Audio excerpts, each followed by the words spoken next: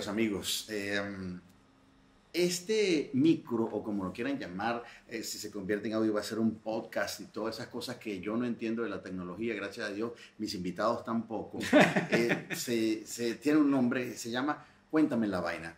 Porque nosotros tenemos muchas anécdotas a lo largo de la carrera y ya esta carrera es larga. Eh, los, ¿Estás llamando viejo o qué? Sí, son viejos, ah. somos viejos.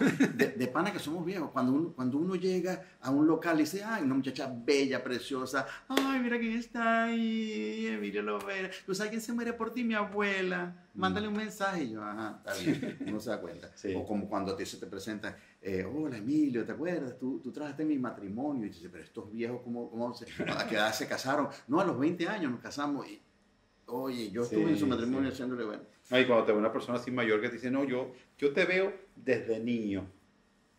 Y ya es mayor. Sí. O sea que... ¿Qué significa que Bueno, estamos viejos ya y eso es lo que, lo que tiene furioso a la gente nueva, que no nos retiramos. Y entonces este, dice, ¿hasta cuándo va a estar estos viejos de mierda allí haciendo cosas que tenemos que hacer los jóvenes, nosotros los jóvenes, los nuevos humoristas. Y bueno, como decía Virgilio Galindo, eh, la gente dice, ah, esta es mi época. No, mi época es hasta que yo me muera. Entonces, después que me muera, ya, ya se puede hablar de una época pasada. Eh, bueno, estamos aquí porque Laureano, al igual que muchos comediantes venezolanos, tenemos historias que han surgido en la vía, en la carretera, en las cosas que nos ha pasado en, en Venezuela y fuera de Venezuela. Y entonces yo digo, ¿Qué, qué recuerda, una, una, anécdota que tú recuerdes que haya pasado, que, que, que, te movió a risa en el, o en su momento pasó una tragedia, pero ahora la recuerdas con humor? Bueno, anécdotas, tú sabes que hay muchas, pero una de las que a mí me gusta contar, eh, porque además define el carácter del personaje, es una, en una oportunidad eh, bueno, y tú la debes recordar porque tú también estás involucrado en el asunto. Eh, además, el problema de nosotros es que como trabajamos juntos, casi todas nuestras anécdotas son comunes.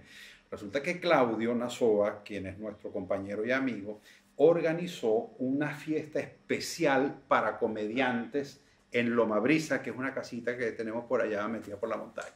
Y entonces Claudio empieza a llamarnos a todos, por favor, estoy organizando una fiesta, para el día 25, por favor, no quiero que nadie se comprometa para ese día, por favor, se los estoy diciendo con dos meses de anticipación que no se comprometan para ese día 25. Y así fui llamando a cada uno de nosotros. Y entonces, bueno, a mí me llamaron antes de la fecha del 25, alguien me llama de una compañía y dice, mire, señor Lobriano, caramba, que tenemos nuestra fiesta aniversario y queremos contratarlo para esa fiesta. Ah, bueno, caramba, qué bien. ¿Cuándo es la fiesta? El día 25. Y digo, el día 25 lo pensé, tú sabes, le era un trabajo, iba a ganar plata, pero no quería escuchar la lengua de Claudio. Y digo, no, no la, no la voy a aceptar, no la voy a aceptar porque, mire, es que ya tengo un compromiso y voy a quedar muy mal, entonces, caramba, lo siento mucho. El hombre insistió, pero yo insistí en que no. Entonces, bueno, mire, entonces nada, tiene el teléfono de su compañero Emilio Lovera, que se lo, para llamarlo a él. Digo, yo se lo voy a dar, el teléfono en su oficina, pero creo que no, Emilio no va a poder, porque Emilio tiene el mismo compromiso ese día. Bueno, total que pasó la fecha. A mí me llamaron. Ah, a mí, me llamaron, y yo le dije, no, tengo que, que tengo un compromiso ahí con Claudio. Le, dije, de hecho, un compromiso familiar, porque, sí, claro. para que no insistan tanto. Para que la gente... Bueno, el, caso es que el día 25 llegó y nos fuimos todos a Loma Brisa a hacer la gran comilona como estaba pautado. Ahí, estuvo Gaetano, estuvo Amilcar, Amilcar Rivero, Elvina Ruparola viuda de Cuevas y viuda de Aragón. Ajá. Estuvo eh, ah, Ariel, Fedulo, Ariel Fedulo. Que, fue una reunión de comediantes. Creo que Gallito incluso estuvo también. Sí. bueno, el que llega el día 25, estábamos todos los más felices en, en esa reunión. Claudio Nazoa incluido. Menos Claudio cocina, eh, entonces él, hizo una comida, hay gente que aportó comida, y bebida también había, había whiskycito, había cerveza. Él preparó el almuerzo. Eso fue hace tiempo ya. Sí, el, el, almuerzo era tarde y entonces, claro, antes él preparó todo el almuerzo y cuando ya llegaba casi la hora de servir, Claudio dice, bueno, señores, señor, como dice él así cuando va a decir algo solemne, señores, bueno, señores, eh, bueno, con permiso, me despido. Eh, entonces nosotros empezamos a mirarnos entre nosotros, ¿cómo, ¿cómo que te despides? Sí, sí, es que me tengo que ir. Te tienes que ir pero ¿cómo? Si llevas un mes llamándonos para este compromiso y ahora te... Sí, es que me, me salió una cosita ahí de trabajo para hoy, para el día de hoy. A las 5 de la tarde. A las 5 de la tarde. Y me tengo que ir a trabajar. O sea, el trabajo que todos nosotros rechazamos para estar con él, él ese día lo aceptó, Claudio. Y se fue. Sí. Y se fue y nos dejó. Y nos dejó. Claudio, la próxima vez vienes tú. Cuéntame la vaina. Ese tiene anécdotas a mí, por eso me estoy vengando de anticipado. La gente se pregunta por qué estamos grabando esto. Y es porque casi todo el mundo piensa que nosotros nos ganamos la vida fácil. Sí, La sí. mayoría de la gente piensa, no, claro, ustedes lo que hacen en los viajes es reírse, disfrutar, comer, sí, beber, porque eso Bueno. es lo que hacen, este, ir para donde la muere de la mala vida que ¿Eh? está más buena que el ¿Quién ha carrito. ¿También lo Ah, dicen? también Ah, lo dicen. sí, sí, la y gente dicen todo eso, que nosotros nos aprovechamos, nos burlamos de la gente, nos reímos y por es eso verdad, nos pagan. es. Yo quiero decirles a toda esa gente que piensa eso, que tienen toda la razón. Que es verdad. O sea, sí gozamos, sí disfrutamos, pero nos pasan cosas. Nos pasan, eh, digamos, cosas que no le pasan a la gente común. Tal vez porque estamos haciendo un trabajo que no es muy común. Tú sabes que una de, una de las de las historias que más le gusta a mi entorno personal, a mis amigos que yo les cuente, es que cuando yo empecé, el ser humorista era muy mal visto. Es decir, la gente no quería tener un músico en su casa. Ahora habían muchos músicos y Venezuela tiene muy buenos músicos, pero una madre y un padre normal que se apreciara, pues en los años 70 u 80, un músico en la familia, una raya. O sea, ¿cómo es posible? Todo el mundo quería un, un arquitecto, un médico, un ingeniero, incluso un militar. Yo me acuerdo que había eso. Claro que los militares antes tenían muy buen prestigio en Venezuela. Sí, pero un cómico, no, no, era, Sí. era terrible ser cómico, cómico. Entonces, este maltrato llegaba a todos los comediantes. Uno que se decidió meterse a esto consiguió como un nicho en La Rochela, pues que era absolutamente exitosa como, como comedia. Pero lo que me recomendaban los rocheleros viejos era trabajar en vivo. Mira, o sea, no te van a pagar nada en la televisión. Trabaja en vivo para que cojan unos realitos. Yo empecé a trabajar en vivo en aquella época. Uno de los primeros shows fue en el de Camerón, que era un sitio que, cuyo nombre no es, no es bien recordado. Quedaba en la avenida Tamanaco, Venezuela de Rosal, frente al Palacio Imperial, que era un, lo que llaman en España un puticlub y donde se presentaban unos cómicos terribles ahí, o sea, terribles no, no de malos, eran muy buenos, pero eran groserísimos. Y entonces yo estaba trabajando al frente. Uno esperaba en la calle, eso la gente no, lo- no se lo imagina hoy en día. El comediante estaba en la calle, parado es. así al lado de los carros, así esperando que lo llamaran de adentro. Mira, mira, eh, cómico, que pase a, a echar tu chiste y tu vaina ahí. Y entonces uno entraba y, em- y- y empezaba. Y entonces sale el mesonero y yo digo, bueno, ya será que voy a empezar. Y no, no, que allá adentro está el señor Delio Amado León, que, que te llamó. Y yo, a mí.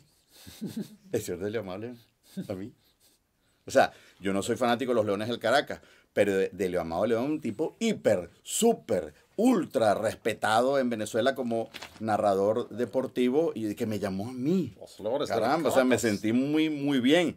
Y llegué y de alemán me dijo, mira, carajito, si tú me sigues invitando, te voy a dar unos coñazos y sigues con la huevonadita, te voy a dar unos tiros, ¿oíste? Y yo me quedé así.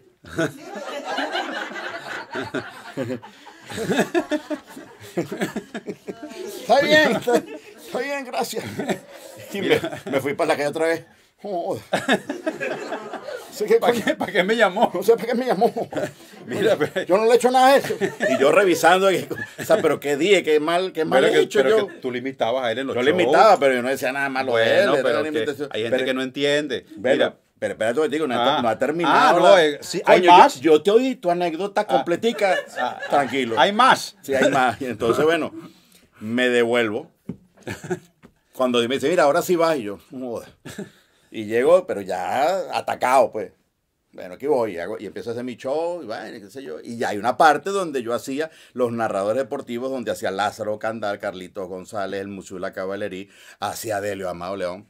Y entonces empiezo con los narradores. Bueno, ahora soy los narradores deportivos, qué sé yo. ¡Ay, qué se va! ¡Mire qué bonito! ¡Qué bonito! Amigo, a, a mí me llevan a otro tribunal, yo me juego de la partida mal para. Hacía todos los, los narradores. Cuando me toca hacer de Amado León, yo antes de que de nombrarlo, ¿no? El tipo se para del asiento donde está, da la vuelta, y yo, y yo estoy hablando y lo veo y sigo hablando tratando de, de concentrarme en lo que estoy diciendo. Y, y se para detrás de mí. detrás de mí, en una silla, y yo, ay, coño, el coñazo viene por aquí. Y entonces digo, bueno, ahora les voy a hacer un narrador deportivo venezolano eh, extraordinario. Probablemente el narrador más grande que ha dado este país. Este, un narrador eh, muy respetable, em, hasta buen mozo, pues, y, y, todo. Y el tipo se reía y todo el mundo se reía. Con ustedes, Gonzalo López Silvero. y el tipo y agarré, amigo, este no el esposo de Jackson. Yo ya hacía, total es que pasó ese episodio, no lo nombré, no lo imité. O sea, lo que él dijo. Ahora, que no entendí. Coño, yo tenía 21 años, 22 años, una, una cosa así. Pasó el tiempo, pasaron los años y una vez me contrata un cliente de, del que él era una cauchera, y no sé si era Firestone o Goodyear, una de esas dos, que eran las grandes caucheras en Venezuela, y él era el locutor oficial de esas, de esas caucheras. Y presentaron un lanzamiento de producto, un evento de ventas en, no sé si era República Dominicana, Margarita, Aruba, Curazao, una, una isla del Caribe. Y me contrataron para que yo fuera a hacer un show cómico.